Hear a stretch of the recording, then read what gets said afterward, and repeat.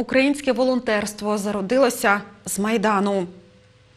Тільки всеукраїнські волонтерські організації обраховуються сьогодні десятками, а волонтерів сотні і тисячі. День волонтера нове для нас свято. Самі ж винуватці відзначають його здебільшого волонтерською роботою. З нагоди свята волонтерів та військовослужбовців нагородили відзнаками президента України. Серед нагороджених Наталя Чеканович майже що два тижні виїжджає до зони проведення АТО, аби підтримати наших українських бійців. Награда, когда ждет твой ребенок, рады тебя видеть. Награда, когда рады видеть друзья. А сейчас еще награда, когда рады видеть тебя хлопчики. Когда они звонят и говорят, приезжайте, приезжайте. Волонтер Людмила Луняка розповідає, жах Майдану відчула лише з новин, а початок війни дав зрозуміти – треба щось робити. розстроїлася, сльози в мене були. Я не роз... ну, коли бачить техніку, коли бачить військову техніку на параді, це одне. І коли бачить, коли, коли техніка їде вже на війну. Це таке було повне, мабуть, такий повний відпад. Журналіст та волонтер Володимир Лисюк до зони бойових дій їздить з 2014-го. Чоловік розповідає, до війська не взяли за станом здоров'я, а залишатись осторонь не захотів. Каже, нагорода – це пам'ять. Передусім, це пам'ять про е, тих побратимів, посестер, які вже ніколи не повернуться додому. Це нагадування про те, про що ми ніколи не повинні забувати, про ту війну, яка зараз йде в Україні. І далі мова піде про допомогу бійцям АТО. Волонтерський пост на Миколаївському автовокзалі працює вже третій рік. Він відкрився третім після Харківського та Дніпровського влітку 2015-го. Тут чергують у три зміни звичайні городяни, які допомагають військовослужбовцям. Ну, наверное, это долг э, каждого э, человека на сегодняшний день. Э, Ребята на передовой, а мы здесь, будем говорить, в тылу. Чем можем, помогаем им. У нас есть еще помощники, это наши э, волонтеры непосредственно, которые готовят, приносят сюда. Наши неравнодушные э, жители города, которые приходят сюда, с детками приходят сами, э, что-то готовят, что-то вкусненькое такое, потому что ребята приезжают, э, бутерброды бутербродами, а им хочется что-нибудь домашнего такого там. Справжнім подарунком для волонтерів став приїзд зранку на пост небайдужих миколаївців. Як годиться, не з пустими руками. Я знаю, что всегда необходима помощь. Я благодарна тем э, добровольцам, которые здесь ежедневно дежурят, которые э, тем, э, я считаю, что волонтеры все те, кто приносят сюда э, еду для э, ребят, для солдат, для того, чтобы было комфортно. Ну и по мере силы и возможностей, тем, что нужно всегда, это одноразовая посуда, кофе, чай, там, майонез, э, колбасы. Волонтери підрахували, за час існування посту тут побувало понад 100 тисяч військовослужбовців. Тут зберігається колекція шевронів, які в дарунок бійці залишають волонтерам. Частина з них прикрашає стіни кімнати, а інші готують до нового стенду, де планують розмістити всі шеврони. Наразі їх зібрали понад тисячу. Наталя Приходько, ТНМ. Підсумки. Програма ТНМ підсумки триває, і ми продовжимо говорити про волонтерство. Сьогодні до нашої студії завітав гість. Це Денис Барашковський. Він є координатором волонтерського посту на автовокзалі. Денисе, добрий вечір. Я вітаю вас у нашій студії. Цього тижня е, відсвяткували День волонтера. Він відзначався 5 грудня. Так, е, давайте трошки ми пригадаємо. Е, й- коли все це почалось, ваші емоції, ваші відчуття? Чому власне ви особисто почали волонтерити? Доброго дня. Э, Ну, э, сама идея создания волонтерских постов э, принадлежала, в городе Николаеве принадлежала моему другу и э, организатору, соорганизатору волонтерского поста нашего на автовокзале Саше Левицкому. Он увидел в Фейсбуке э, э, пост Харьковского волонтерского поста а, на железнодорожном вокзале. А, Мы, он обратил внимание, показал мне, говорит, давай сделаем это в Николаеве. Когда мы начали мониторить сеть, когда мы начали общаться с волонтерами, оказалось, что в Днепропетровске на э, ЖД вокзале уже существует второй пост. Он открылся буквально месяц. Это был 15 год. Это было лето, это был июнь. Окей, я поехал в Днепропетровск. Мы с- я встретился с координаторами, с Натальей Хазан. с Наташей Шишендой, Днепропетровского, Днепровского уже на э, сегодняшний момент э, поста, проговорили, они мне, так скажем так, дали основные вводные, как происходило, что, с кем договаривались. Мы приехали в Николаев, встретились с нашим волонтерским кругом. Э, Я говорю, ребят, вот есть такая идея, возьмитесь, пожалуйста, кто хочет. М, вот Там собрались нашим, да, таким ядром волонтерским. Вот, ну, как бы э, ЖД вокзал попросила Ира Абрамова, а мы, нас попросили, да, то есть мы когда приняли решение э, заняться автовокзалом. Все, вы как бы знаете, как это все было, да, мы пришли к тому мэру, еще Гранатурову Юрию Исаевичу, обратились, чтобы он помог нам соединиться, да, то есть э, переговорить с руководителем, с владельцем автовокзала, с владельцем ЖД вокзала. Организация постов происходила одновременно. Мы ездили и на ЖД, и на авто, помогали договариваться на ЖД, много вопросов, разговаривали с авторуководством, да. А Вот. И в принципе в течение месяца были запущены летом э, 4 и 10 июля были открыты два волонтерских поста. Дивіться, ви домовились так з керівництвом е, цих е, вокзалів. Вам дають цей пост. Це була кімната тільки, маленька кімната. Там нічого не було, наскільки я пам'ятаю. Як е, скільки часу вам знадобилось, щоб е, заповнити цю кімнату? Адже проста кімната це мало. Э, На да, той час ну, було. Это верно, выделили действительно пустое помещение, и за то им большое спасибо. А Более того, ну, руководство междугородного, э, междугородного вокзала я отдельно выделяю да, от нас слово «спасибо» и благодарю их, потому что за два с половиной года существования они не берут с нас плату за коммунальные услуги. А счетчик, поверьте, зимой особенно работал там э, на полную. На примере других постов я знаю от наших э, координаторов по Украине, на некоторых автовокзалах берут оплату коммунальных. То есть это были бы десятки тысяч гривен за год, поверьте. Поэтому мы благодарны им, спасибо им, да, что они там на социальный, там одна или две гривны у нас ну, аренда, социальное помещение. Все официально, да, то есть мы, действительно была пустая комната. Ну вот я вам скажу так, мы пускали э, в, в эфир в социальные сети громады Николаева обращения. Надо стулья, надо столы, надо э, тумбочки, холодильники, продукты питания потом, да, то есть все эти какие-то моменты, с которыми мы сталкивались, мы сталкивались впервые. И сами проходили где-то, ну, не очень правильно делали, где-то упреждали и делали настолько классно, что потом нашим координаторам других э, областей Украины, и других городов мы подсказывали, как сделать, чтобы было эффективно.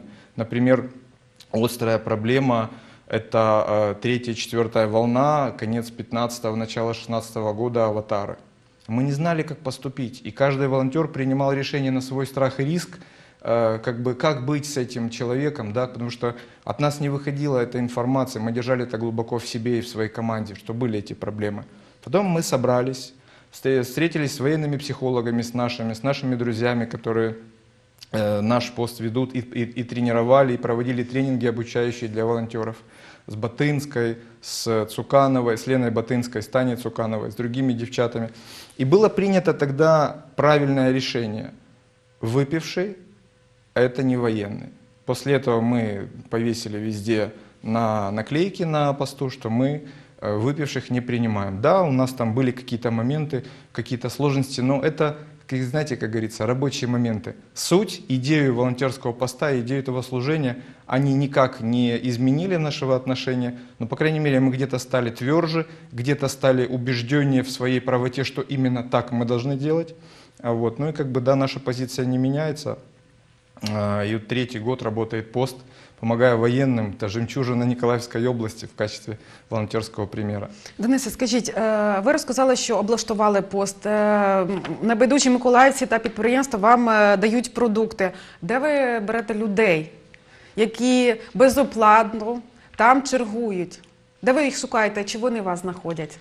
А, Ну, это действительно это взаимно. Э, И мы открывались, когда, ну, э, вот в первый день открытия э, еще один из наших координаторов у нас появился дежурный э, Люда Луняка. Она пришла дежурить, она узнала в социальных сетях, она также активно э, помогала и видела, и переживала те события, которые происходят, и хотела себя реализовать, свое внутреннее желание, потенциал, да, то есть как человек может принять участие и отреагировать на события, которые происходят, война и так далее.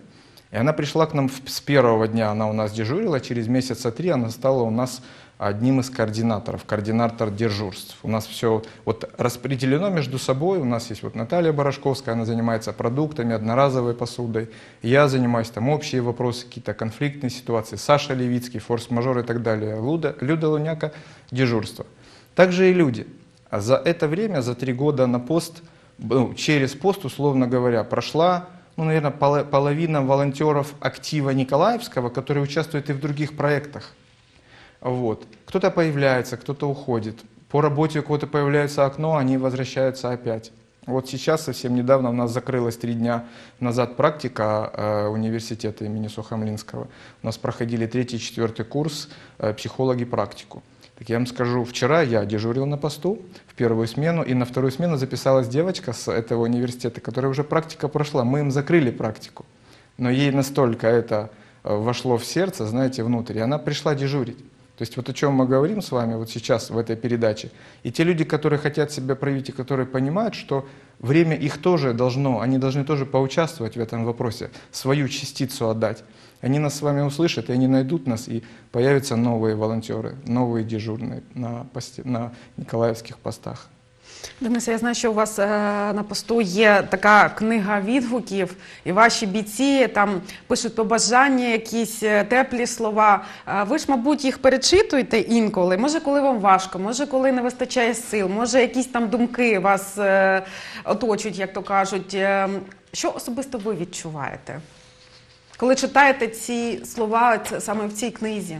А, э, э, Кроме того, что у нас есть книга, у нас еще есть и флаги, а, они исписаны словами благодарности. И флагов настолько много, что мы сложили уже седьмой флаг, они у нас семь флагов просто сложены и лежат, э, ждут своего часа в музее, да, там когда-то их время наступит.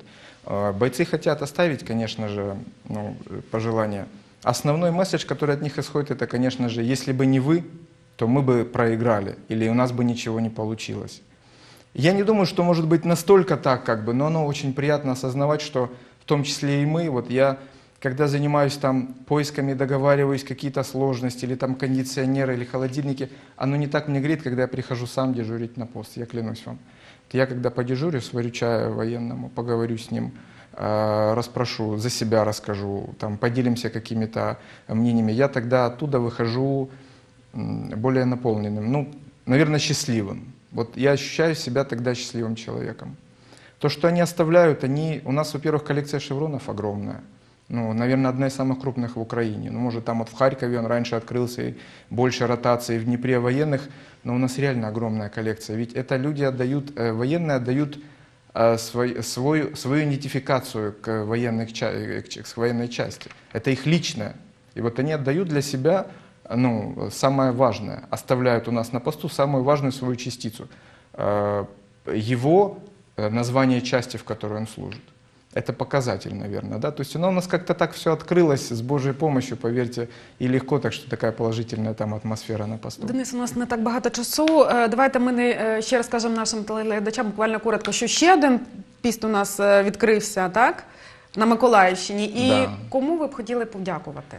Э, э, Летом 2017 года у наших друзей, волонтеров Первомайска, э, они, вот мы с ними советовались, у них была идея сделать подобный волонтерский пост. Они обратились ко мне, мы смогли скоординироваться с главой Первомайской администрации Владимиром Бовком, очень плотно и четко отработали механизм взаимодействия, встретились с руководством вокзалов, поехали туда, выделили помещение. Я вам скажу честно, пост был открыт за три дня.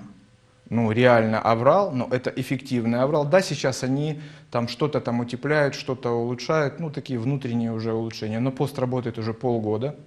Вот, у нас в Николаевской области в этом случае номер один, потому что в Николаевской области три поста волонтерских открыто, они функционируют, ну, грубо говоря, вся область покрыта. Для нас это честь, что я как бы к этому имею отношение.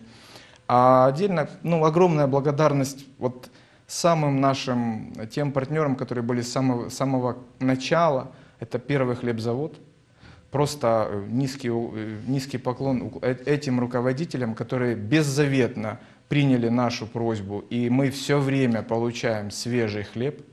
Это Лакталис, э, йогурты, которые нам поставляют постоянно. Это компания Мина, которая поставляет печенье, муку, из которых наши волонтеры берут продукты и сами потом готовят и приносят эти продукты. Ну и самое главное, э, огромная благодарность это нашему обществу. Наши горожане, наши николаевцы этот пост э, содержат. Именно они приносят продукты, именно они э, заботятся о том, что было э, какие-то деньги, которые покупаются, у нас есть, с этих денег покупаются продукты, у нас есть отчеты по этим деньгам. Поэтому я благодарен нашей громаде. Пост существует благодаря вам.